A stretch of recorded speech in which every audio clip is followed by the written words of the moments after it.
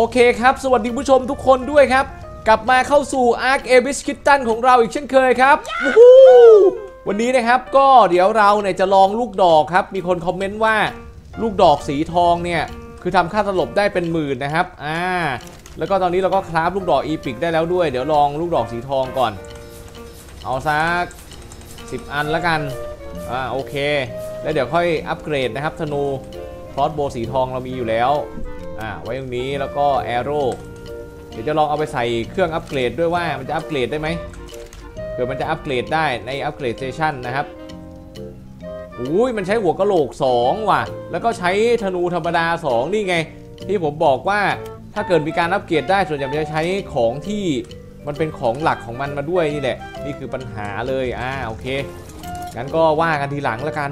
เดี๋ยวตัวไอ epic ยังไม่ได้ครับ เพราะว่าเนื่องจากว่ามันก็ต้องแปลงในส่วนของ crossbow ไปเรื่อยๆ ถึงจะไป epic ได้เดี๋ยวลองโกก่อน ถ้าได้หลักหมื่นนะผมก็พอใจแล้วแหละ แล้วก็วันนี้มีการอัปเดตนะครับ ในส่วนของ skin เข้ามาใหม่สำหรับใครที่ซื้อ DLC ครบๆเนี่ยก็จะได้ skin ตัวนี้มานะครับนี่ก็จะเป็นโดโดนะครับ Anime Series แล้วก็มี T-Rex Anime Series ครับรวมกับของเก่าก็จะมี Parasaur กับ Raptor ก็น่าจะมี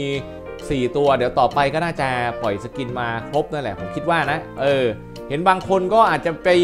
ได้ครบแล้วนะ คนที่ลงหมดลงอะไร อะ เดี๋ยวเราเรียกไอ้นี่มาก่อนเลยวีนัทนะครับ เป็นบอสของฟีนิกครับทุกคน อะ ถ้าเราจับตัวนี้ได้เนี่ย ก็น่าจะโหดประมาณนึงครับ แต่คิดว่าคงจะไม่โหดเท่าเมื่อก่อนเพราะว่าเมื่อก่อนผมจำได้ว่ามันจะมีท่าที่แบบแรงมากนะ น่าจะแรงกว่านี้ด้วย คือแบบโดนแป๊บเดียวเนี่ยเลือดหลักล้านนี่ลงแบบปุ๊บปุ๊บปุ๊บปุ๊บเลยนะ แต่ว่ารอบนี้ผมไม่โดนหรือยังไงไม่รู้ว่ากิฟฟินผมทนได้เว้ยเตรียมธนูก่อน ตัวนี้ก็จะใช้ธนูบนตัวได้ครับ นี่คือหน้าตาครับเอ้ยหน้าตาเขาเท่ขึ้นว่ะ เมื่อก่อนเหมือนมันจะมีแสงแสงเรืองแสงด้วยไม่ใช่หรอ มายัง มาแล้วมาแล้วมาแล้วมาแล้วโอเคเดี๋ยวเดี๋ยวเดี๋ยวถอยก่อน เราต้องส่องมันดูก่อนว่ามันมีค่าหลบเท่าไหร่ ค่าหลบอยู่ที่เกือบเกือบห้าแสนอะจะตีว่าห้าแสนก็ได้ ใครบอกเป็นหมื่นว่าเก้าพันเองทุกคนโอ้เอ้ย ยิงขี้แตกอย่างงี้ บ้าไม่ได้อะน้องๆเฮ้ยเดี๋ยวเดี๋ยวเดี๋ยวโดนป่ะเอาโดนโดนโดนเดี๋ยวว่าจะไม่โดน โดนอยู่ ปล่อยน้ำครับ ตัวนี้เลือด 54,000นะถ้าเป็นตัวเทมเบิลแตกต่างจากตัวที่เป็นบอสพอสมควรนะเราปล่อยมันไว้ก่อนครับเดี๋ยวค่อยมาจับเพราะว่าถ้ายิงงี้นานแน่นอน เดี๋ยวอัปเกรดธนูเป็นระดับ epic เลย เราข้ามขั้นมันไปได้ แสดงว่าเราต้องฆ่าบอสก่อนแล้วเราก็ต้อง craft เอ่อ crossbow ให้เป็น tier สูงกว่า 1 ขั้นนะครับ เพื่อมาจับแน่นอนชัวร์เลยอะเราถอดลูกดอกแล้วเราก็เอาอันนี้ใส่เข้าไปเพื่อการอัปเกรดนะครับ ทีนี้ก็ใส่หัวกะโหลกบอสครับผม หัวกะโหลกบอสเดี๋ยวนะพิมพ์หาก่อน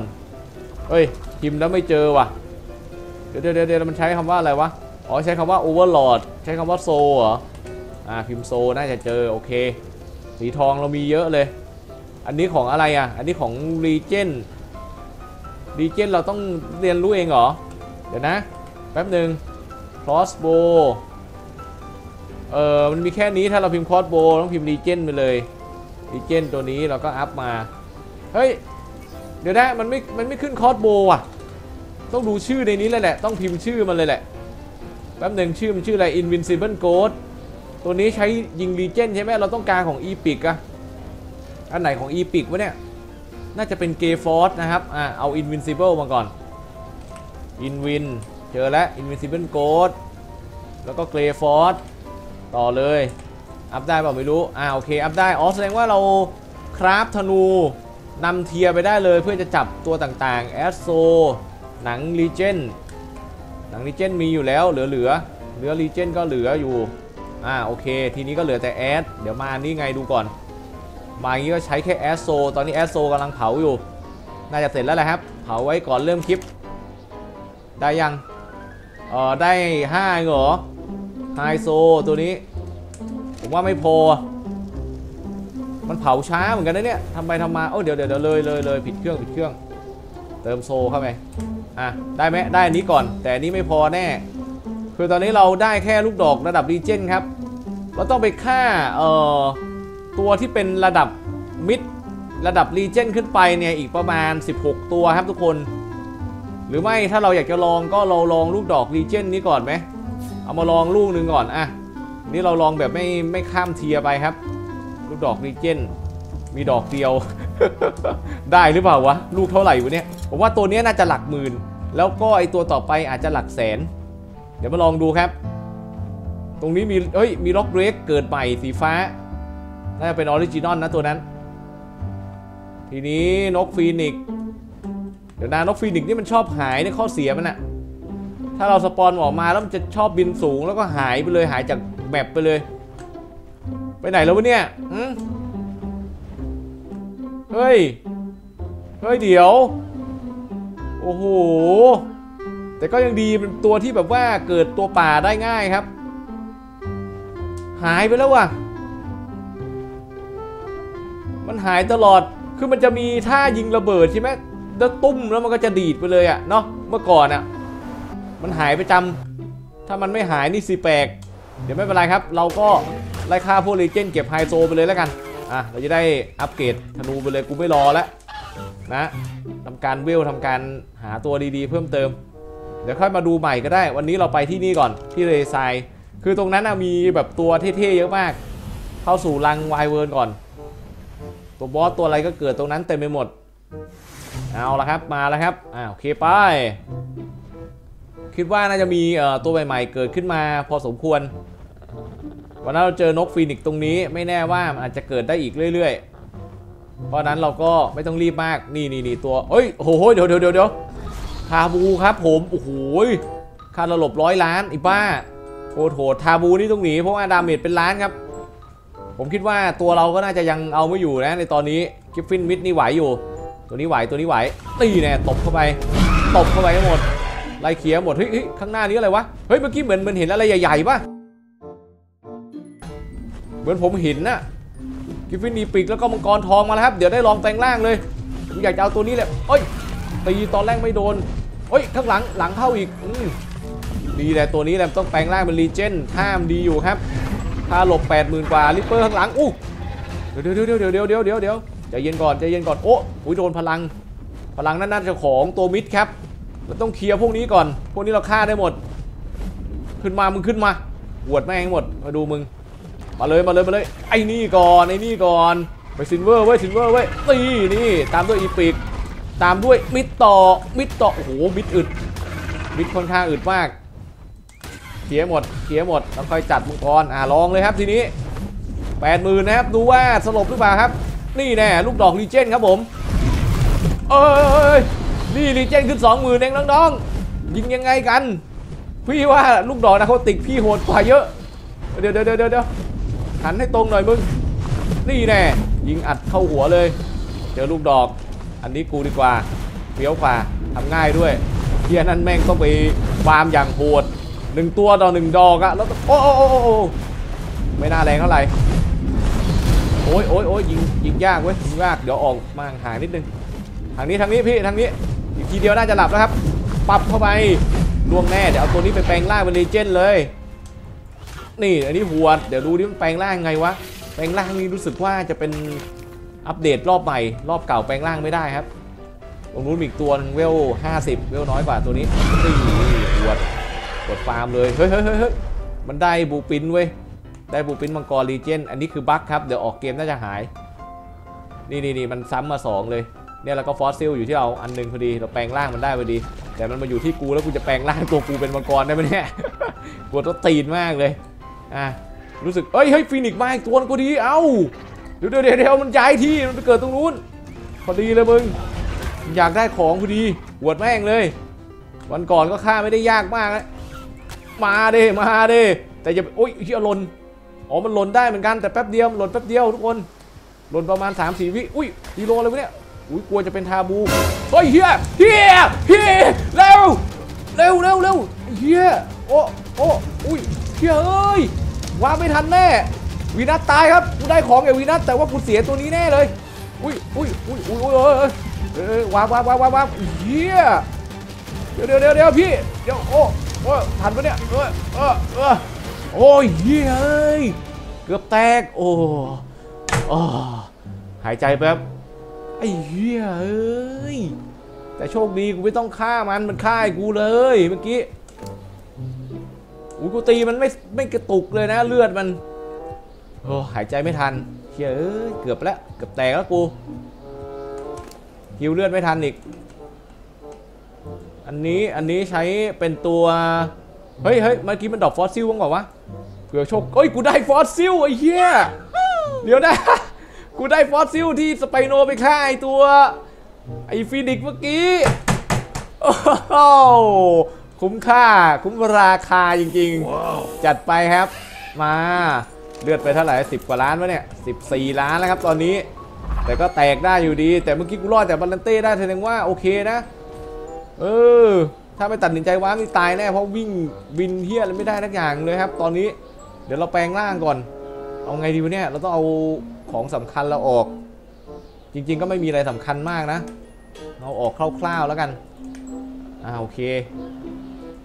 เอาละแปลงเลยนะไม่สนใจอะไรละเวลตันพอดีครับเฮ้ยเฮ้ยลืมเอาอันนี้ออกเดี๋ยวอ่าอ๋อใช้เวลารอเหมือนกันนี่ว่านี่ครับคือระยะเวลาในการคราฟครับ มันเป็นของฟรี งั้นเอาตัวนี้ไป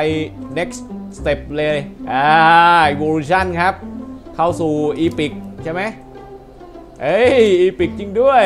รอก่อนหุ้ยเลเวลสวยเลเวล400 เดี๋ยวไม่รู้จะเหมือนแบบ primal fear หรือเปล่านะ อ่ากลายแล้วครับตอนนี้ นิดเดียว อีปิกก็ยังไม่มีพลังครับจนถึงระดับ Myth นี่นี่นี่นี่นี่เขามีแสงเป็น barrier ออร่าขึ้นมาครับ นนนนนั่นนั่นนั่นมีมีมีจิกอะไรกินที่พื้นด้วย เตรียมอาหารให้พร้อมก่อนแปลงร่าง เฮ้ย barrier เขาเป็นสไตล์แบบอาร์คคัมมาไลท์ว่ะทุกคนนี่ก๊อปเข้ามาปะเนี่ย โอ้โห ไปก๊อป asset เข้ามานี่หว่า แต่ว่าแจ๋วใช้ได้ ข้างบน เฮ้ย ข้างบนเป็นรูปโรโดเล็กเว้ย เทโยมาแล้วเรียบร้อย นี่ก็ประมาณนี้ครับ เวลาแปลงร่าง เฮ้ยเลเวลกูลดว่ะทุกคน เลเวลมันกลับไปก่อนอัพปะเนี่ย เอาละใส่นี่เข้าไปก่อน costume เลเวลลดไปบ้างเล็กน้อย แต่ก็โอเคครับ เมื่อกี้เราไปตันประมาณเอ่อ400นะอ่าพอใส่ costume ไปก็โอเคครับ ไปขึ้นมา damage ก็อยู่ที่ 10,000 ครับโอ้แต่ว่าไอตัวนี้มาดีมากเลยน้ำหนัก ขึ้นไป 30,000แล้วครับตอนนี้ เดี๋ยวขอบินดู Phoenix อีกชุดหนึ่ง มีอีกไหมถ้าไม่มีไม่เป็นไรเพราะเมื่อกี้เราได้ของฟรีมาอีกชุดหนึ่งแล้วแต่สรุปเลยผมว่าไม่น่าจะเหมาะสมที่จะเอาไอ้ตัวเนี้ยมาจับหรอกมันต้องข้าม tier เอ่อไปสัก tier หนึ่งนะไม่งั้นไม่ได้ เพราะเวลาเราตีบอสชุดหนึ่งเนี่ยมันจะข้าม tier ได้หนึ่ง tier ใช่ไหมเราตี Legend เราก็จะได้ลูกดอก epic นะครับ ก็จะข้ามได้แค่ 1 tier เพื่อเอาไปจับระดับ Legend ประมาณนี้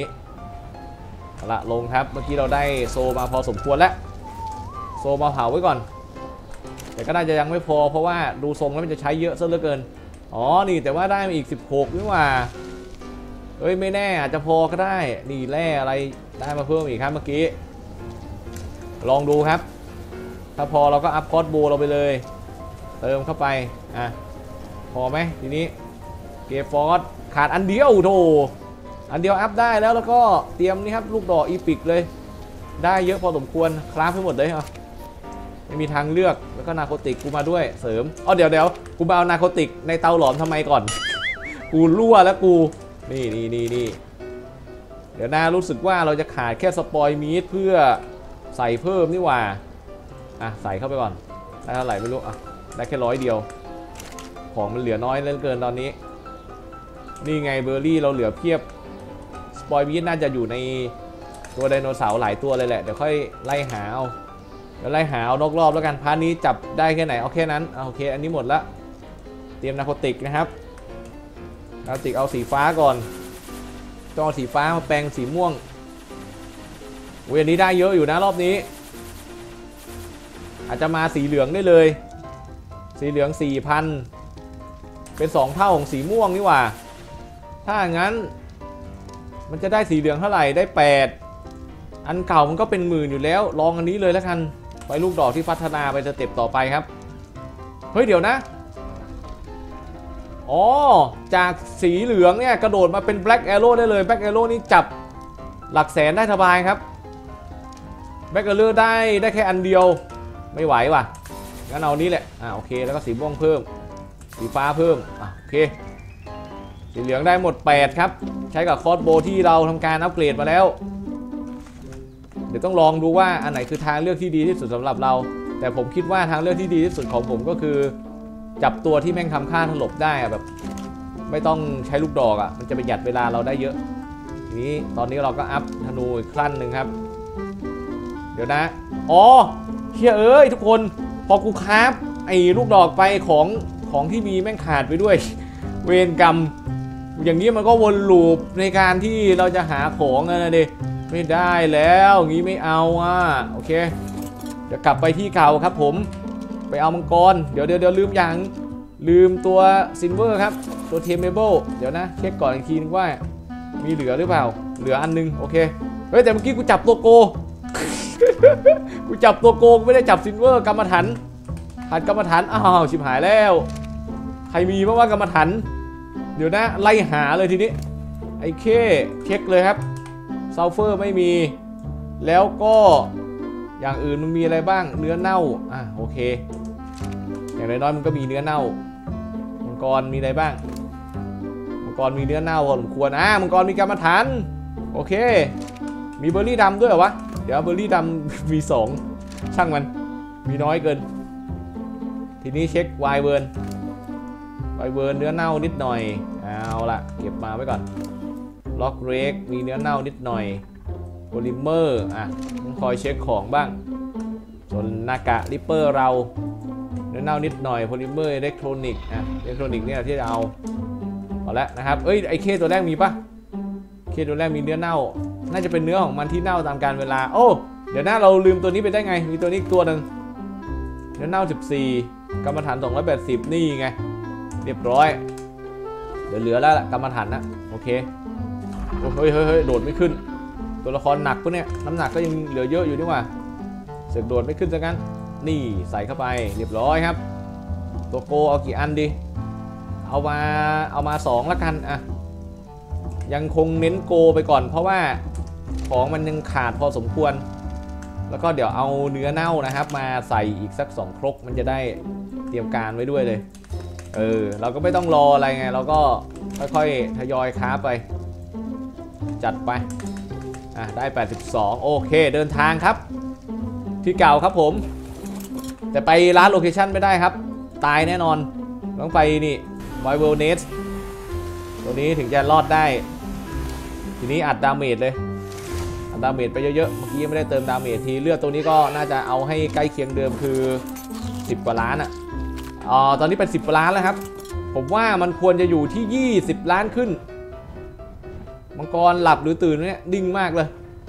ต้องรีบใส่อาหารแล้วก็รีบกลับทันที เพราะว่าไอตัวนั้นมันขึ้นมาข้างบนแล้วด้วยเดี๋ยวเป็นปัญหาทีนี้ฟาร์มหนังก่อน โอเคปลอดภัยครับอุ้ยเฮียเฮียเอ้ยหล่นแล้วหล่นแล้วครับทุกคนตอนนี้ ตายเปล่าไม่รู้เนี่ยกูกูจะแตกหรือเปล่ากูกลัวจริงเดี๋ยวนะ ใส่อันนี้เข้าไปหนึ่งอันครับ เรียบร้อยครับ อ่า โอเค เวลากลับเลย วับวับวับวับวับวับไอ้เฮียอยู่ไม่ได้ตรงนี้ ตรงนี้เถื่อนไปไปไปไปไปไปกูเข้าด้วยกูเข้าด้วยมังกรติดไปะเนี่ยโอเคมาแล้วครับ เรียบร้อย ตัวนี้ก็แปลงเป็น legend ต่อเลยครับ legend ก็ตึงใช้ได้ามาเพราะมีฟอสซิลอยู่ ฟอสซิลยังอยู่ที่ตัวผมเปล่าไม่รู้นะ เดี๋ยวลองเช็คดูอีกทีนึงออกมาตรงนี้ก่อน บินไม่ค่อยขึ้นเว้ยทางไม่ตายมีอะไรบ้างคลิกขวาพ่นไฟกด C ท่าเดียวกัน กด Q กด R ไม่มีกด X ปล่อยเป็นพลังก้อนๆครับอ่าเป็นลูกระเบิดออกไปหลายลูกอยู่กันละลงจอดตอนนี้ เดี๋ยวเตรียมฟอสซิลอันนี้ปะโอเคฟอสซิลอยู่นี่งั้นเรา up ก่อนต้องเอาให้ตันก่อนนะ ถึงค่อยทำการแปลงร่างครับ ไม่งั้นเนี่ยมันจะน่าจะเสียค่าพลังผมก็เสียวๆอะผมไม่รู้ว่ามันมีผลมีส่วนอะไรกันหรือเปล่าอ๋อแต่ตัวนี้บินขึ้นบินลงยากพอสมควรเพราะนั้นอาจจะต้องใช้คู่กับ ตัวคอสซูมนิดนึงครับ ตัวนี้เป็นตัว O เดี๋ยวนะเราจะลองค่าตัวโอนตัวข้างล่างนี้ดู ว่ามันแรงหรือเปล่า นี่ระดับโปเอายิงพลังดูครับอะอุ้ยพลังศาสตร์สูงมากเลย ถ้ามันยิงศาสตร์สูงอย่างนี้ลำบากก็เนี่ยโอ้ยตัวนี้มันกดหน้าไม่ได้ว่ะ เดี๋ยวเดี๋ยวมันน่าจะกันเราโกงวะทำไมตัวเก่าเรามันบินปกติวะเดี๋ยวนะ ไอ้นี่ไม่ได้แล้วไอ้นี่ต้องเอาคอสตูมช่วยมังกรเฮียอะไรบินก้มหน้าไม่ได้กูเพิ่งเคยเห็นเอาลองดูโดนไหมเฮ้ยแรงอยู่เหมือนกันนะเนี่ยอุ้ยเฮียเอาเรื่อง นี่ แต่ตีบอสไม่ได้นะเพราะตอนนี้บอสคือมันจะทำให้หล่นอย่างเดียว ตัวนี้เพอร์เฟกโซเลยว่ะเอามันเป็นตัวที่อยู่นี่ป่ะอันนี้ออริจินอลนี่ออริจินอลเลือด 5แสนกว่า อันนี้เทียต่ำกว่าตัวเมื่อกี้ครับตัวนี้เราฆ่าระบายอยู่แล้วปั๊บอุ้ยโหดไอ้นี่ไอ้นี่โหดเลยแหละเดี๋ยวลองอัดดาเมจสุดๆดูดิอ่ามึงไปครับยิงสาดไปครับพลัง เดี๋ยวต้องเก็บคอสตูมนี้ไปใช้ 150 เนี่ย มันจะได้บินปกติเหมือนมังกร official หน่อยเดี๋ยวนะยิง เออ เรียบร้อยเละไป แรงหน่อยครับทีนี้อ่าสาดลงไปไม่งั้นแม่งปล่อยพลังลงไปข้างล่างไม่ได้ ตันยังไม่รู้เลเวลยังไม่ตันครับตอนนี้เสียดาย phoenix กูแต่โชคดีกูได้ของฟรีมาแล้ว เดี๋ยวมันไป craft ง่ายมันแค่ใส่ไอตัว trophy boss เข้าไปแล้วก็ได้ไข่มาอีกฟองหนึ่งแล้วเราค่อยจับทีเดียวใช้มังกรตัวนี้ก็จับได้นี่หว่าใช่ไหมเอามังกรตัวนี้ใช้วุ้นตัวไม่ได้ครับต้องกิฟฟินอย่างเดียวกิฟฟินตอนนี้เราอึดขึ้นเยอะแล้วแหละไม่น่าจะเป็นปัญหาอะไรขอให้ลูกดอกเราเพียงพอก็น่าจะได้แล้วนะครับ กี้ crossbow เรายังขาดอยู่นี่คือปัญหาเนี่ย crossbow ที่เป็นของตัว epic อะเดี๋ยวเราจะลองลูกดอกเหลืองดูเลยผมคิดว่าน่าจะพอ แต่เดี๋ยวถ้าไม่พอมันหายอีกอย่าเพิ่งลองเลยแล้วกัน ผมขอข้ามการจับ Phoenix ไปก่อนนะครับ เพราะว่ามันน่าจะยังไม่ถึงระดับชั้นเราครับทุกคนใช้ของเยอะเกิน ทีนี้เราอัด speed มาอีก 160 ลองผสมกับการอัพแบบ official ดูว่าเป็นไงอ้าโอเคนี่ว่า แนะนำว่าใช้ costume ไปร้อยกว่าก่อนอุ๊ยแต่ทำไมมันได้น้ำมันมันเยอะจังวะเมื่อกี้ผมไม่ได้ดูเลยว่าน้ำมันเนี่ยมัน drop มาจากตัวไหนครับโคตรเยอะอะสาดพลังลงไปก่อนเคลียร์พื้นที่นี่โดนหูโดนปลาใต้น้ำเพียบแสดงว่าทะลุลงไปในน้ำได้อีกไปบินมานี่จะมาถึงทะเลทรายอีกรอบนึงแล้วเนี่ยรอบนี้ไม่ไปนะครับจะอยู่ตรงนี้บ้างอะเดี๋ยวมันรีบเลยเฮ้ยกูรู้แล้วว่ากูจะไปฆ่าใครดีมันที่หน้าอ้ ก็ซิลล่านั้นแม่งนานแล้วกดตีนเดี๋ยวเจอกูแน่วันนี้ เดี๋ยวผมจะแปลงร่างแล้วผมจะไปฆ่ามันครับคอยดูแปลงร่างตอนนี้เลยดีกว่า ไม่ต้องรอตันอะเดี๋ยวมันก็ลดเวลอยู่ดี เดี๋ยวนะหาที่เหมาะๆก่อนมืดพอดีเลยด้วย แต่ว่าเดี๋ยวค่อยแปลงก็ได้อะเผื่อเจอตัวตึงๆให้เวลตันๆได้ทีเดียวเลยตรงนี้ยังไม่มีบอส ถ้าไม่ใช่บอสระดับแบบ tier 7 tier 8 tier 9นะผมว่าตัวนี้น่าจะเอาเอาลงอะเออเพราะ damage มันก็หลักล้านอยู่ แต่พอไป tier ตั้งแต่ระดับโอนเนี่ยบอสมันเลือดเป็นร้อยล้านทั้งนั้นเลยน่าขนาดไอทีเล็กตัวนั้นยังสิบกว่าล้านเลยดีกว่า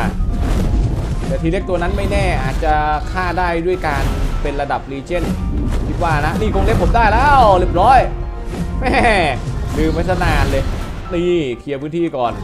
ฮ้ยจะไปโนซิลเวอร์เว้ยสวยเว้ยเคลียเคลียเคลียเคลียออกไปพุ่งออกไปออกไป เอาตัวนี้กลับบ้านก่อนแหมอยู่หลาย part แล้วไม่ได้กลับบ้านทันทีเลเวลเป็น194เริ่ม damage ไปก่อนใช้ได้อยู่นะเลเวลอะโอเคไปกลับไปไอ้หนูเจอกัน เราเดินทางต่อเลยครับไปแล้วทางมาทางฝั่งนี้สาดพลังสาดพลังไปเคลียร์หมดได้กี่เวล5เวล เลือดกี่ล้านแล้วเลือดเลือด3ล้านครับโอเค ระดับโปนี่จะขึ้น 10 ล้านยากพอสมควรนะสังเกตดูแล้วอะ มีตัวโหดไหมเหมือนจะไม่เห็นตัวโหดเลยสักตัวหนึ่งจริงถ้าเราบินหาดีๆจะมีบอส Reaper ของฟรีที่มันเป็นตัวป่าตัวหนึ่งที่เราต้องไปฆ่าเราก็จะได้ของมาเราอาจจะได้ดอกฟอสซิลก็ได้ใครจะไปรู้เว้ยถ้าได้ดอกฟอสซิลเราสามารถแปลงร่าง Reaper เราได้เลยนะเว้ย เออ เฮ้ยเฮ้ยมังกรนี่ปีกว่ะ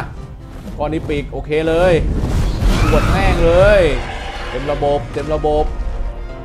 นี่น่าจะได้เวลพอสมควรครับนกด้วยนกด้วยนกด้วย เดี๋ยวเดี๋ยวสาดไปโดนสาดไปสาดไปโปรยพลังไฟเลยโปรยพลังไฟเลย เฮ้ยกีกาลิเจนกาลิเจนตัวหนึ่งสามแสนกว่ากว่าครับค่าหลบกีกาลิเจนมันพ่นพลังไม่ได้ไม่ใช่เหรอวันนั้นที่เราเจออะเราก็เลยไม่ได้จับมันนี่นี่นี่เดี๋ยวคุณก็แปลงร่างเป็นมึงแล้ว พาทิ้งนี่เฮ้ยเหมือนเหมือนมีพ่นเหมือนมีพ่นพ่นจากมันเปล่าเมื่อกี้ผมเห็นพ่นเขียวอะถ้าผมตาไม่ผ่านนะผมว่ามันน่าจะพ่นพลังได้เหมือนกันนะถ้าพ่นพลังได้ผมจะเอาเพราะว่าพลังไฟมันแรงผมจำได้ เดี๋ยวลองบินฉบโฉบบินฉบโฉบฉบโฉบไปพ่นไหมพ่นบอกว่าไม่เห็นมันพ่นเลยวะไม่น่าพ่นแล้วมึงกูพ่นแทนแม่งเลยดีลานักอ่า Griffin Silver ร้อยสี่สิบเยอะๆอยู่ปล่อยไปก่อน เดี๋ยวต้องใช้ในอนาคต ตรงนี้เรามีก็อดซิล่าครับด้านหน้านี้ เดี๋ยวเรามาดู เราลองยิงด้วยร่างนี้ก่อน แล้วค่อยว่ากันอีกทีนึง Carno Alpha Official สาดพลังไป เละครับเรียบร้อยส่วนข้างล่างนี้ อ๋อ เป็น epic ตายอยู่แล้วเนี่ย แต่ทำไม tame passive หลอกกูปะเนี่ย โอ้โหแล้วมึงอะไรว่าทั้งขนาดนี้ tame passive เป็นไปไม่ได้ครับฆ่าทิ้งเลย ตัวที่โหดนั่นจะเป็นอีกตัวหนึ่งเรียบร้อยตัวนี้แตกครับ แปลงร่างเลยแล้วกัน น่าจะเลเวลตันแล้ว เดี๋ยวกูยืนแปลงร่างเนี้ยไม่สนใจใครอะก่อนเลยอัด damage ให้สุด โอเคตันพอดีครับ ได้เวลา เปลี่ยนร่างเข้าสู่ร่างต่อไป เอาของสำคัญออกครับ พวกนี้ต้องใช้แน่ มาฐานเพียบ โอเค นี่นี่ไข่มุก อ่า มีระยะเวลาเพียงพอแล้วที่เราจะรอมันนะครับในการที่จะเก็บของเหลือๆเลย เดินไปด้วยแล้วก็แปลงร่างไปด้วยได้บอกวะไม่น่าได้อะลงเลยครับ ตรงนี้มีน้ำกินพอดีเลยสามารถที่จะวางตัวดูดน้ำได้ กินในนี้เลยก็ได้เหมือนกันนี่เรียนน้ำที่เขิดหินน้องๆมาแล้วครับเอฟเฟกต์ออร่าเราครับผมมังกรตัวนี้กำลังจะแปลงร่างเข้าสู่มังกรในตำนาน วงบาเลียรู้สึกว่าจะครอบคลุมตัวไม่หมด บาเลียไม่เล็กจังวะ นะหรือมึงตัวใหญ่ มันน่าจะตัวใหญ่นะเนี่ยห,หัวโผล่ออกมานอกบาเลีย ไม่ใช่กลายเป็นมังกรหัวขาดนะมึงจี้เลยแหละสายฟ้าให้ลุกขึ้นไปนู่นเลย มาแล้วเรียบร้อยโอ้โหมาปุ๊บไม่สาดพลังไปก่อนครับ ด้วยความที่เฟี้ยวจัด stand by หนูขึ้นขี่ไงก่อน ก็เอา crossbow grappling hook มาใช้แล้วมั้งไอ crossbow ง่อยนั่นกลัวออกไปเลยแล้วกัน crossbow grappling hook อยู่นี่ อ่าโอเค เดี๋ยวพี่บินไปขี่น้องไม่ต้องลงมาอ๋อแสดงว่าการแปลงร่างเลเวลจะสตาร์ทที่ 270 เท่ากันทุกตัวแน่นอนเลย นี่เท่ากันเลยครับ damage ไป เลือดไปเท่าไหร่นี่น่าจะ 8 ล้านแล้วมึงเนี่ย8 ล้านแบบว่องไวเลยครับสำหรับมังกรตัวนี้ เดี๋ยวเราต้องใส่ costume มันก่อน 150 เหมือนเดิม อ่า โอเค ประเด็นคือไอ้พวกนี้ทิ้งยังไงก่อน เนี่ยที่มัน bug drop มาให้กูเนี่ยมัน drop แม่งไม่ได้วะทุกคนต้องตายหันเดียวมั้งออกเกมก็ไม่หาย ถ้าตายถึงจะหลุดได้ คิดว่า ถ้าไม่ตายคงเหมือนกันนะครับก็คือมีสองท่าคือคลิกขวากับกด X นอกนั้นก็คือเหมือนเดิมนี่ท่านี้แม่งแรงบอกเลยแรงมากอ่าตอนนี้เราก็ใส่ costume ไปแล้วครับก็บินได้เหมือนมังกรปกติ เราจะใส่แค่ 150 แล้วเราจะอัพ speed เอาเองครับ จะได้ไม่โกงมากเกินไปอะเลือดจะ ให้ไปอยู่ที่ 20 ล้านครับสำหรับดีเจนเพื่อป้องกันทาบูตีทีเดียวแตก แต่ก็ไม่แน่ใจว่ามันจะตีทีเดียวแตกได้อยู่หรือเปล่า เพราะเราไม่สามารถคาดเดาได้เลยว่า damage มันกี่ล้านไอ้นี้ตัว myth ตายแน่มึงเลือดน้อยกว่า legend เมื่อกี้เอ้ยทีเดียวเละครับนึกว่าจะแน่สบายมาก เดี๋ยวนะข้างในนั้นเดี๋ยวมีลำแสงพลังไฟอะไรเต็มหมดตีมึง Carno mythฆ่าได้หมดวันนี้เดี๋ยวเผยบาลานเต้เจอกูด้วยหรือต้องไปเช็คก่อน ตีนนะมันทำให้เดซายไม่ปลอดภัยอีกต่อไป แต่ก่อนจะไปลองบาลานเต้ต้องไปลองไอ้นั่นก่อนไอจีหน้าทีเด็กตัวนั้น ตัวนั้นนี่เดี๋ยวต้องเช็คก่อนว่ามันเทียร์ไหนแล้วผมลืม แต่จำได้ว่าสเตโกก่อนนะ แล้วค่อยไปตัวของมันอุ้ยเดี๋ยวเดี๋ยวเดี๋ยวเดี๋ยวเพิ่งจะสังเกตเห็นว่า พลังไฟของไอ้นี่นอกจากฆ่าแล้วยังทำให้ซากศพนะครับถูกไฟไหม้แล้วก็ดูดของมาที่เรา ไม่รู้ว่าเป็นตั้งแต่ตัวโกหรือเปล่าผมไม่ทันสังเกต ข้างล่างมีสไปโนลิเจนตัวหนึ่งเดี๋ยวเราปล่อยไว้ก่อน อาจจะเป็นกำลังสำคัญเราในอนาคตนั่นนะบอสทีหน้ากูหล่นเลย เห็นหน้ามันปุ๊บกูร่วงทันที เดี๋ยวนะกูเริ่มหมั่นหน้ามึงแล้วมึงกับกูเลือดพอๆกันเจอกันหน่อยเถอะ เวลยังไม่ตันครับ แต่ไม่สนแล้วครับตอนนี้เฮียนี่กวนตีกูหลายทีแล้วข้างหน้านะอะไรวะเป็นลีเจนเหมือนกันครับกอซิล่านี่เราจับได้นะกอซิล่าตัวนี้นะครับ ปล่อยไว้ก่อนดีกว่า ขึ้นบินขึ้นบิน บินไปหาทีเล็กนี่เลย กูมาแล้วเพื่อน กูมาแล้วกูมาแล้วมึงไม่ต้องกลัว กูมาหามึงเองวันต้นตีนกูหลายทีแล้ว มึงคิดว่ามึงแน่แค่ไหนวะฮะ จัดพลังไฟดิเอาเหี้ยพ่นไม่ออก เดี๋ยวเดี๋ยวเดี๋ยวเดี๋ยวอยู่ที่พื้นพ่นท่านั้นไม่ได้ เอ้า เอ้า เอ้า แตกดีครับ เรียบร้อยไอ้เหี้ยโคตรแรงพลังไฟธรรมดานะ เพราะว่า เวลาอยู่ที่พื้นไม่สามารถพ่นท่า X ได้ครับ โอเคที่พื้นใช้ได้แค่คลิกขวาอย่างเดียวว่ะ โอ้โห แต่รุนแรงมากเมื่อกี้มีฟอสซิล drop บ้างเปล่า มีโทเค็นครับคีฟเซกการ์ดบายจีน่าก็คือมันมัน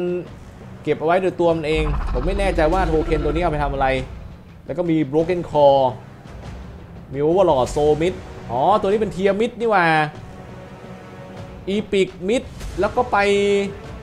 ไป original หรือเปล่า ตอนนี้ก็งงๆเหมือนกัน เออ legend epic mid อะถูกแล้วนี่เราไม่ได้ฆ่ามันนี่หว่า พอฆ่าตัวนี้เราก็ไป tier Stego ปะเดี๋ยวต้องต้องไปอ่านของน้องอนันต์อีกทีนึง กูลืม ไม่ได้จำอะไรได้ดีขนาดนั้น เรียบร้อยครับ ทีนี้เราก็กำจัดเสี้ยนหนามตรงนี้ไปได้ชุดหนึ่งครับ เวลาเราเอาตัวธรรมดามาบินจะได้ไม่หล่นอู้หู damage เราประมาณ 3 ล้านนะเมื่อกี้ ที่เราได้ทำการยิงมันนะครับทุกคน นี่นี่นี่นี่นี่อุ้ย Giga Taboo เดี๋ยวเลือดล้านหกว่ากูข้ามได้นะเผลอๆทีเดียวตายเนี่ยอู้ตัวนี้แม่งแรงจริงว่ะพอเราแปลงร่างมาตัวนี้แม่งโหดมากยอด ตอนนี้น่าจะเหลืออีก2 tier ที่เราข้ามไม่ได้ก็คือระดับ Abyss กับ Taboo นะด้วยมังกรตัวเนี้ยข้างหน้า Giga เดี๋ยว เป็นระดับ O ระดับ O นี่ drop เลือดมาเยอะมาก่อนนี่เกินเกิน10ล้านไม่ใช่หรอไม่ drop เลือดมาเยอะจังวะ นี่ Giga โกนี่เลเวลตันด้วย 150 เนี่ยตัวนี้มี skill ท่าไม่ตายเมื่อก่อนอะเทียเดียวกันก็ไม่รู้นะ ผมกำลังลองมันอยู่ว่ามันมีเปล่า เดี๋ยวผมลองลูกดอกนี้ก่อนดีกว่า ผมไม่ได้รีบ เดี๋ยวผมจับตัวนี้ก่อนก็ได้แป๊บนึง เพราะว่าตัวโกนี้โอ้ยข้างล่างเลยวะอุ้ยอุ้ยเกือบแล้วมึงข้างล่างมีทาบูทุกคน ตัวนั้นตายแน่ เดี๋ยวเดี๋ยวเดี๋ยว โอเคมันไม่ได้ตีกันว่ะ แต่เดี๋ยวกูต้องข้ามอยู่ดี เอานี่ก่อนตาดชุดนี้ก่อน เล่ไปก่อนมึงอ่าส่วนในตัวนั้นเดี๋ยวว่ากันแป๊บหนึ่งเฮ้ยเดี๋ยวเดี๋ยวมังกรมึงอย่าลงมึงอย่าลงเทียนั้นมันแรงเอาละยิงไอ้นี่ให้หลับก่อนตัวนั้นว่าอีกทีนึงนะต้องเดียมชัวร์ลูกดอกกูมีน้อย โอ้ว่าแล้วอุ้ยอุ้ยอุ้ยอุ้ยอุ้ยกูหล่นลงมาข้างล่างเลยปะข้างล่างก็มีชุดนึงว่ะ โอเคโหข้างล่างกีก้าเยอะว่ะตรงนี้Giga เยอะเหรอเผาแม่งเลยเอาเอาเดี๋ยวเฮ้ยมังกรนี่ Abyss ดีกว่าเดี๋ยวเดี๋ยวเดียวสิบเอ็ดล้านสิบเอ็ดล้านสิบเอ็ดล้านแล้วไงไอตัวเมื่อกี้ว่าสิบล้านกูจะฆ่าตายมาแล้วมึงฮะเฮ้ยได้อยู่โอ้ยเดี๋ยวเดี๋ยวเดี๋ยวเดี๋ยวอย่าเข้าใกล้ผมอย่าเข้าใกล้ผมอย่าเข้าใกล้ผม เอาดิเอาดิกูยิงแล้วถอยมึงโดนมันทีเดียวมึงตายนะเนี่ย heavyweight ตัวเนี้ยเรียบร้อย เสร็จครับคือเรายิงมันตายได้ แต่เราไม่สามารถโดนพลังมันได้ครับ บอกได้แค่นี้ โดนพลังมันมีโอกาสแตกได้ทันทีน่ากลัวมากตัวนั้นนะยอดแห่งความน่ากลัว เอาละ Giga ครับ step ต่อไปตรงนี้ไกลเกินใกล้ๆลูกดอกกูมีน้อยนี่แหละเหลี่ยมนี้แหละเดี๋ยวเดี๋ยวเดี๋ยวเดี๋ยวเดี๋ยวเอาลิงแล้วครับปรับเข้าไปครับยังหลักหมื่นอยู่เลยนี่หว่าใครฆ่า original วะเนี่ยดอกของ original มาโอเค ลูกสีเหลืองทำ ค่าสลบได้อยู่ที่ 46,000ครับ พอๆกับแมงป่องกูเลยนี่หว่า งั้นแสดงว่าจับแมงป่องแม่งดีกว่า เอาไปก่อน ยิงรัวสาดเข้าไปเลยไม่เป็นไร ตัวนี้มันสะสมได้ ประมาณ 5 ลูกครับ ไปนู่นเลยครับ เดี๋ยวเปลี่ยนสีได้ครับทีนี้ สีม่วงต่อได้ไม่เปลือง อ่า สีม่วงอีก 4 โอเค วนมา วนมา อาจจะทีเดียว เนี่ย ตามไป ตามไป โดดลง ยิงแม่งเลย เรียบร้อย เอ้าเฮียเอ้ยเฮียจะแดกหาพ่องโอ้โหเซ็งเลยว่ะทุกคนครับไอ้เหี้ยนี่มันแดกเฉยเลย ลูกดอกก็เสีย ตัวก็ไม่ได้ นี่มันเท่ากับว่าเปไปเนื้อก็ไม่ได้จับแล้วเนี่ยโอ้โหสลัดหักมังกรกู กูไม่รอบคอบด้วย แต่ผมก็ไม่กล้าพาสซีฟเหมือนกัน แต่ไม่คิดว่ามันจะตี เพราะว่ามันหลับแล้วปกติมันหลับมันจะไม่ตีดีกว่าไอ้ต้นตีนขออภัยในคำหยาบด้วยครับ ทุกคนขออภัยพ่อแม่ด้วยถ้าได้ยินเสียงผมออกไปครับเพื่อทรสในการรับชมเพราะปกติเด็กที่โรงเรียนหยาบกว่านี้นะครับ ไปละอะไปที่ต่อไปดีกว่า แต่ว่าลูกดอกสีเหลืองนี่ดีกว่าไอตัวของแม่งของมันเยอะเลยอะเดี๋ยวผมจะเตรียมลูกดอกเอาไว้ นอกรอบแล้วกันใน part หน้านะครับ เพื่อมาไล่จับหลาย ๆ ตัวไม่ว่าจะเป็นฟีนิกซ์นะครับโกโก้ก้านี่ต้องมี แต่จริงเอาแมงป่องก็ได้เดี๋ยวนะแมงป่องน่าจะง่ายกว่า แต่แมงป่องมันจะกินระยะเวลาไปพอสมควร เพราะว่ามันจะปั่นไปเรื่อย ๆ มันไม่ได้แบบทีเดียวขึ้นทีเดียวขึ้น แต่ตอนนี้ผมอยากจะลองไอ้กรงเล็บเพราะกรงเล็บมันจะมีท่าโขกหัวปกติถ้าเราขี่สัตว์อยู่แล้วมันใช้ท่าโขกหัวเนี่ยมีโอกาสที่คนข้างบนจะหลับด้วยนะเว้ย เออ แต่ไม่รู้ว่าเป็นที่เซิร์ฟบางเซิร์ฟหรือเปล่านะ เอาละครับ เรากลับมาพักผ่อนหย่อนใจที่บ้านเราต่อ ว่ากันด้วยเรื่องของกรงเล็บต่อเลย ที่ขี่น่าจะคราฟไว้แล้ว แต่ไม่ได้ออกมาใช่ไหมวันนั้น เอาละได้แล้วครับ ลองดูแค่ได้ตัวมังกรลีเจนตัวนี้มาก็สุดแล้ว รอบที่แล้วผมก็ใช้ตัวนี้ฆ่าหลายตัวอยู่ อ่า มาแล้วทีนี้ก็น้ำหนักไปก่อน น้ำหนักไม่ได้เลยสตามิน่า เลือดมา 5,000 เดี๋ยวให้เพิ่มทำอะไรได้บ้าง กด C กด C ฟาร์มเบอร์รี่ได้ ฟาร์มเตรียมไว้ก่อนเลยมันใช้อีกเยอะเลยเนี่ยแล้วก็เติมเลือดต่อ stamina น้ำหนัก speed damage อ่าโอเค เดี๋ยวลองคลิกขวาคลิกขวานี่ไฟเบอร์ไหมลองดูนะ มันมีหลายท่ามากนะคลิกขวาไฟเบอร์ยิงด้วยเนี่เห็นไหมมันได้โคตรเยอะ โอเค กด X มีอีกป่ะ กด X ไม่มีละ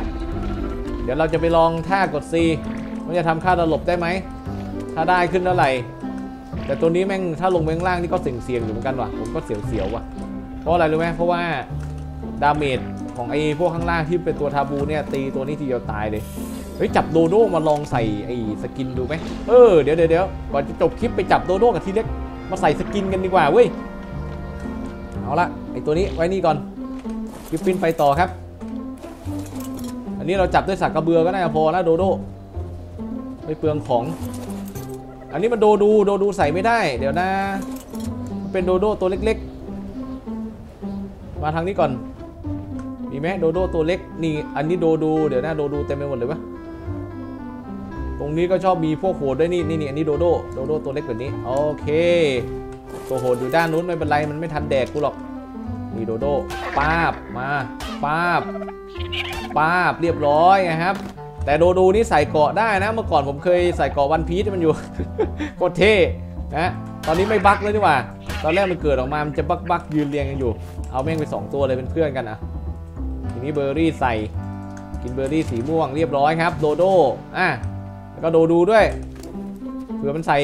skin การ์ตูนได้ลองดูก่อนเบอร์รี่อะ ได้ไหมเรียบร้อยครับ ทั้งโดโดทั้งโดดูเอาล่ะพวกเราเรากลับบ้านกันรวมตัว เดินมาเดินมาน้องๆ เดินมาเลยกลับข้างบนครับไปเดี๋ยวใส่ skin ให้แล้วก็เดี๋ยวไปหา T-Rex เพิ่มอีก โอเคมาแล้ว จอดไอ้นี่ไว้ตรงนี้ก่อน เอาละลองใส่ skin ให้กับโดดูก่อนแล้วกันว่าโดดูใส่ได้ไหม skin โดดูมีช่อง saddle นะครับ ว่าแต่ว่าตัวนี้ไปทำอะไรวะเนี่ย เดี๋ยวค่อยไปหาแล้วกัน skin อยู่นี่ skin ใส่ไม่ได้ครับสำหรับโดโดแต่ใส่เกราะได้ อ่าโอเคเกราะก็ใช้ตัว Primal Dino ส่วนโดโดคือนี้ นี่อ่ามันก็จะเปลี่ยนเป็นแบบสไตล์อนิเมะนะครับ เหมือนในซีรีส์ ARK อนิเมะนั่นเอง เหมือนตัวมันดูใหญ่ขึ้นปะเนี่ย เรียบร้อยครับ 1 ตัว จับทีเด็กต่อครับ ตอนนี้กิฟฟินเหมือนเดิม เดินทาง ทีเด็กหาไม่ยาก เปิดสแกนด้วยกล้องก่อน แต่ว่าแถวนี้ไม่มีจะต้องข้ามไปอีกฝั่งหนึ่งก็คือเลนข้างหน้านี้ ต้องไปแบบด้านหน้าถึงจะเจอได้ เฮ้ยเดี๋ยวนะ เฮ้ยเฮ้ยผมพลาดท่าไปท่าหนึ่งคือกิฟฟินพอ up มา tier ต่อไปมีท่าไม้ตายโปรยพลังครับ ไม่รู้ของเก่ามีหรือเปล่า อุ้ยแตกครับ2 0 0แสนแตก โอ้ยเดี๋ยวเดี๋ยวเดี๋ยวเดี๋ยวเดี๋ยวมีท่าอยู่มีท่าอยู่ ไม่ต้องไปถึง tier myth นี่หว่ามีมีมี griffin epic ครับ มีแล้ว แต่ของ legend ผมจำได้ว่ามันไม่เห็นมีแสงอะไรออกเลยนะเหมือนท่าคีบนะ วันนั้นใครดูทันเดี๋ยวคอมเมนต์บอกพี่หน่อยว่ามันมีพลังอะไรออกปะแต่พี่จำได้ว่ามันไม่น่าจะมีพลัง นี่นี่นี่นี่โอ้เดี๋ยวนะศาสตร์ทำลายต้นไม้ได้ แต่ถ้าไม่โดนลูกพลังก็คือจะไม่โดนเลย แล้วก็สามารถบินไปแล้วก็ปล่อยแล้วพลังจะเฉียงไปด้านหน้าได้ด้วย ไม่ใช่ว่าลงไปตรงๆ ถ้าเราบินไปพลังก็จะพุ่งแหวงหน้าได้นิดนึงทีเล็กอยู่ไหนวะเนี่ยช่างมันไอพวกพลังนี้ไม่ได้สนใจตอนนี้เอาทีเล็กก่อน T-Rex ตรงนี้ไม่มีครับไปต่อ ถ้าเจอ Reaper น่าสู้ได้คิดว่านะ เลือดเท่าไหร่ละเช็คเลือดก่อนเลือด 13 ล้านโอเค 13 ล้านเราเหนือกว่ามันอยู่แล้ว เราสามารถยืนบวกได้เลยเพราะเรา tier สูงกว่ามันมันแค่ gold เรา epic เรากระเถิบมา 2 step จัดปล่อยพลังไป เละครับเรียบร้อย เป๊ะๆนี่เต่าโดน เอออย่าทำเต่าอย่าทำเต่า เดี๋ยวเต่าที่บ้านมีคนเสนอว่าให้จับมันไว้ครับ เป็นอนุสรณ์เป็นเอกลักษณ์ของบ้านเราได้ อ๋อมันก็ยิงไปข้างหน้านิดนึงเหมือนกันนี่หว่า อ๋อมันโยนออกไปแล้วก็ย้อยลงไปครับ ตัวนี้ตัวนี้เลือดลงไป เฮ้ยตัวนี้เลือดเป็นล้านเลยทาบูไหวปะเนี่ย ลองดิ ตัวนี้เลยโหดตัวเนี้ยตีเราทีเดียวตายเนี่ยลองดูลองดูดูดาเมจเราเข้าไหมอุ้ยอุ้ยถ้าปล่อยปล่อยระเบิดนี่เป็นล้านเลยว่ะทุกคนมันสุดใช้ได้เนี่ยเลเวลยังไม่ตันเลยด้วยครับแปลว่าตัวนี้สามารถจะทิ้งบอมใส่หัวกระบาลใครก็ได้คือทีเดียวตายยันทาบูครับแสดงว่าที่ฆ่าได้ก็คือฆ่าตัวป่าได้หมดอะเอาง่ายๆตัวป่าคือฆ่าได้ทุกตัวแน่นอน เพราะว่าระดับเอวิทเราก็ฆ่ามันได้ แต่เราอย่าโดนมาตีอย่างเดียวครับ แค่นั้นมันก็แฟร์อยู่ มึงตีกูได้ แต่ถ้ามึงพลาดกูตีมึงตายอะไรประมาณนี้นะ มันจะเป็น step นี้มากกว่า เดี๋ยวกูบินมั่วๆก่อนกูว่า Reaper มันต้องอยู่แถวนี้ดิ เฮ้ยเฮ้ยเฮ้ยนี่ไงเจอแล้วไอ้เหี้ยนี่แหละ เฮ้ยเดี๋ยวมันทำกูหล่นไม่ได้นี่หว่า เฮ้ยถ้า tier สูงกว่ามันจะทำเราหล่นไม่ได้เว้ยทุกคนเฮ้ยสบายดิไอ้น้องลงไปไหน เดี๋ยวเดี๋ยวเดี๋ยวเดี๋ยวเดี๋ยวเดี๋ยวไม่กล้าครับ อ๋อ ถ้าเรา tier สูงกว่ามันจะทำเราหล่นไม่ได้ฮ่าฮ่าฮ่าแฟร์อยู่ มันดีเหมือนกันทำหมดประมาณนี้เว้ยเอ้ยอีก tier นี่วับเดี๋ยวเดี๋ยวเดี๋ยวแต่เมื่อกี้โดนพลังแล้วตกนะโอเค แต่บินแล้วไม่ร่วงกูก็ว่าทำไมกูหาไม่เจอสักที คือพอ tier สูงกว่ามันก็ไม่ร่วงแล้ว แล้วเผลอๆ tier เท่ากันก็อาจจะไม่ร่วงเปล่าวะใครลองแล้วบอกพี่ด้วยนะครับคอมเมนต์ด้านล่างทีแรกกูเจอแล้ว เดี๋ยวมัวแต่ตี Reaper อยู่เวลเท่าไหร่กันบ้างเนี่ยเวลร้อยเลยนี่ว่าโอเคดีเอาเลยเนี่ยมีเวลร้อยตัวนะเดี๋ยวแดกช้างก่อนนี่เนี่ยช้างโอเคเรียบร้อยครับ ลูกดอกสีม่วงนี้ไปเลยลูกดอกเดียวอยู่เวลร้อยอยู่นี่ตัวหน้าปับเข้าไปเข้าหัวไปหนึ่งหมื่นดับไปก่อนตัวหลังเวลเก้าสิบตัวเมียกันวะเนี่ยมึงอะไม่ใช่นี่ว่าตัวผู้ทั้งคู่ตายหนึ่งอันนี้กูจะเอาไปลองใส่สกิน โอเค วันนี้โอ้โหได้แปลงร่างได้อะไร 2 ตัวนี่สะใจมาก เนื้อเนื้อเนื้อเนื้อพรามอยู่นี่ใส่โอเครอครับตัวนี้ยังไม่หิว ก็ว่าแล้วทำไมบินมาตั้งแต่ที่เราฆ่ามันทำไมกูไม่หล่นสักทีวะแสดงว่าผมว่าตั้งแต่เทียเดียวกับมันนะก็คือจะบินแล้วไม่ล่วงแน่นอนเลย เดี๋ยวต้องไปลองเอาไข่มันนะอ้อแต่ไม่ได้เลย เพราะไข่มันไม่ใช่บอส แล้วเมื่อกี้กูได้ไอ้ฟอสซิลมาป่ะเผื่อกูฟลุกได้ฟอสซิลมาโซโก ได้แต่โซโกตัวนี้มา เหมือนมันไม่ให้แร่ให้อะไรกูมาเลยเหรอเนี่ยฮะ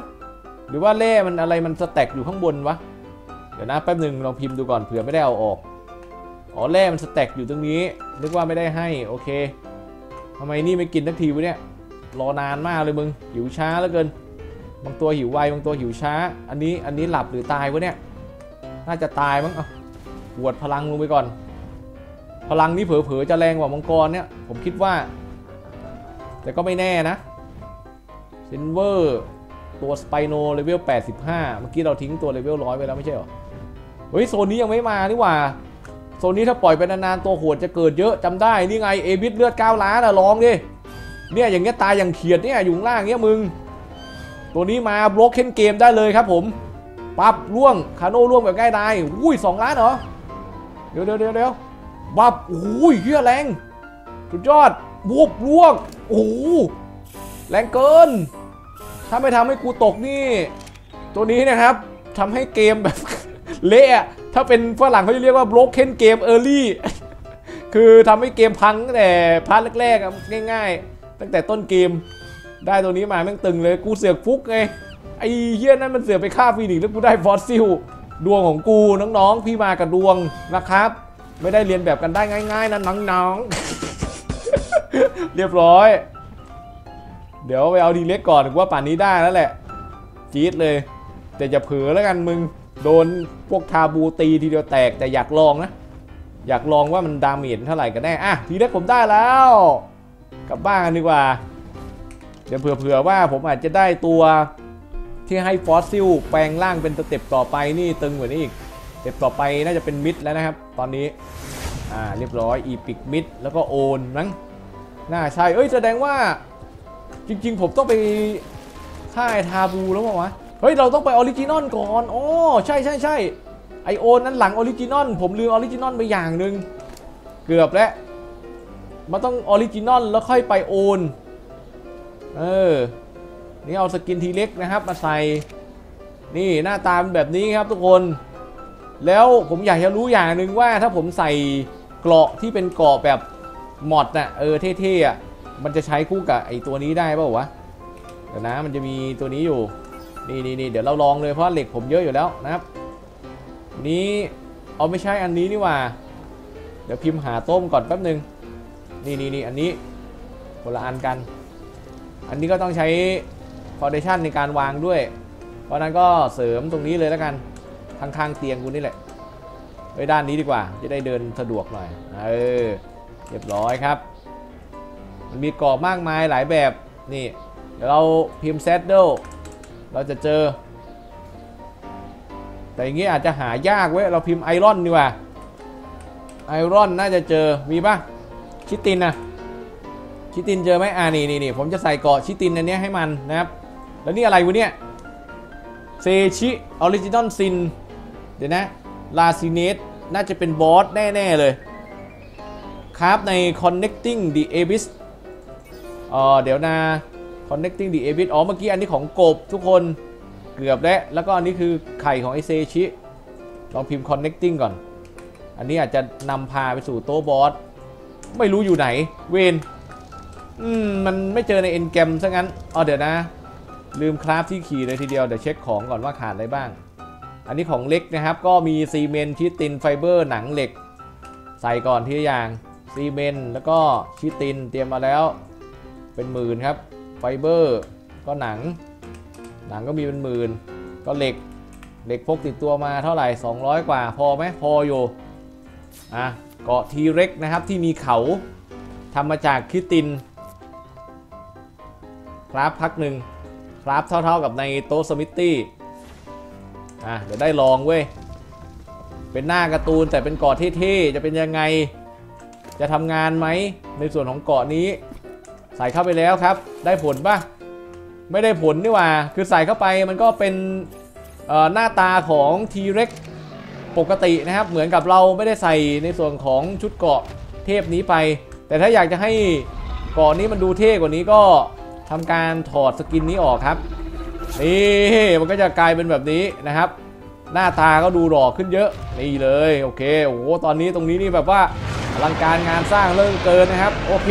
เอาเป็นว่าสำหรับ part นี้นะครับ เราก็จะจบทิ้งท้ายไว้ตรงนี้ก่อนแล้วกันครับคุณผู้ชมครับ ยังไงก็ชื่นชอบนะ ฝากกดไลค์ให้กำลังใจกันด้วยครับ เดี๋ยวเจอกันใหม่คลิปหน้าครับผม สวัสดีครับ